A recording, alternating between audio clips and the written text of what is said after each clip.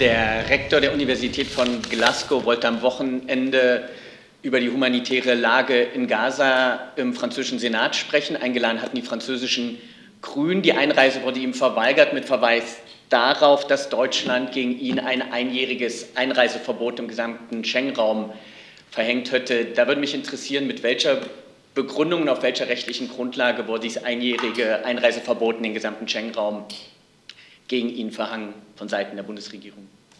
Also ich kann Ihnen eine solche Maßnahme ausdrücklich nicht bestätigen. Ähm, und wenn es einen solchen Einzelfall geben sollte, würden und dürften wir uns dazu auch nicht äußern. Da müssten Sie sich, was mögliche Einreisefragen angeht, an das Bundespolizeipräsidium wenden oder was mögliche aufenthaltsrechtliche Maßnahmen angeht, an die Berliner Behörden, an die Berliner Ausländerbehörde. Ähm, aber wie gesagt, für das BMI kann ich Ihnen das nicht bestätigen. Aber jetzt haben die französischen Behörden das ja offiziell so bestätigt und gesagt, wir lassen dich nicht einreisen, weil die Deutschen dieses entsprechende einjährige Einreiseverbot erteilt haben. Und Sie sagen, das stimmt so nicht, beziehungsweise können das fürs BMI nicht bestätigen. Habe ich das so richtig verstanden?